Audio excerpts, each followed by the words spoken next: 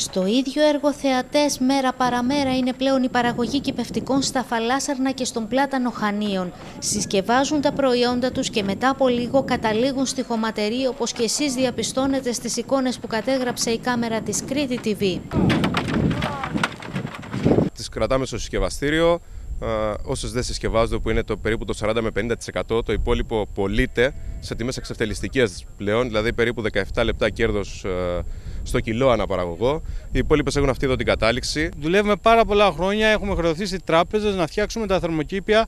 Δουλεύουμε ένα χρόνο να φυτέψουμε τα φυτά. Περιμένουμε δύο μήνες να πάρουμε την παραγωγή για να καλύψουμε όλο του χρόνου τα έξοδα και τα καλλιεργητικά και τώρα τα πετάμε. Αυτή τη στιγμή ο παραγωγός παίρνει 17 λεπτά το κιλό στην ντομάτα, ενώ τα έξοδα στην ντομάτα είναι 50 λεπτά ένα κιλό. Η υπολειτουργία των λαϊκών αγορών, το κλείσιμο καταστημάτων εστίασης και ξενοδοχείων, το φρένο που έχει μπει στη διάθεση των προϊόντων της Κρήτης στις ξένες αγορές, αλλά και οι εξευτελεστικέ τιμές πώλησής τους δίνουν τη χαριστική βολή στους παραγωγούς του νησιού. Έχουμε υπαλλήλους που τους πληρώνουμε, δεν μπορούμε ούτε να τους απολύσουμε, γιατί δουλεύανε στις λαϊκές.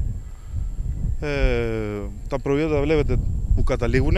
Εμείς είμαστε ένας κρίκος. Άμα σπάσει, πώς θα δουλέψουν οι υπόλοιποι; Θύμα του κορονοϊού όμως έπεσε και το σταμναγκάθι γραβούς, η παραγωγή του οποίου πλήττεται ανεπανόρθωτα. Και αυτό πλέον είναι στα ζήτητα. Εμείς γνωρίζουμε ήδη ότι οι παραγωγοί ε, έχουν καθαρίσεις για το Μάρτιο από 0,96 έως 1,5 ευρώ το κιλότατο κόστος παραγωγής τους είναι στο 1,75. Έχουμε στείλει και επιστολή μάλιστα μέσω του Δήμου, στον Αντιπεριφερειάρχη, από εκεί στον κύριο Βορύδη. Οι παραγωγοί στο σύνολό του ζητούν από την κυβέρνηση να λάβει ουσιαστικά μέτρα για τη στήριξη των αγροτών, τα θερμοκήπια των οποίων πλήττονται και από τις καιρικές συνθήκες. Το κόστος της σιδεροκατασκευής του θερμοκηπίου σαν αγροτεμάχιο είναι τεράστιο, πιάνει από 20 μέχρι 35.000 ευρώ το στρέμμα.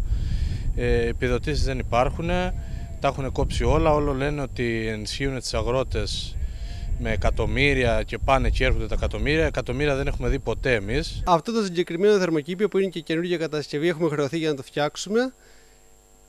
Μπορεί να πιάσουμε μια παραγωγή περίπου των 100 τόνων. Τους 50 τόνους τους έχουμε χάσει ήδη για πέταμα. Προβληματισμό πάντως προκαλεί το γεγονός ότι παρά τη συνεχής εκκλήση των παραγωγών για τη διάθεση των προϊόντων τους σε πολίτες που τα έχουν ανάγκη, καμία αρχή ή συλλογικότητα δεν έχει μέχρι στιγμής ευαισθητοποιηθεί. Ο κόσμος δεν έχει να φάει, και εμείς τα πετάμε. Αν πραγματικά ενδιαφέρεται κάποιος για τις ευπαθείς αυτές ομάδες, για τις κοινωνικές, ας αναλάβει ο Δήμος, η Περιφέρεια, να αγοράσεις τι ντομάτε από τους παραγωγούς στο κόστος παραγωγής, σέντ παραπάνω, και να τις διανέμεις δωρεάν σε αυτές τις ευπαθείς ομάδες. Εμείς δεν μπορούμε να κάνουμε κάτι.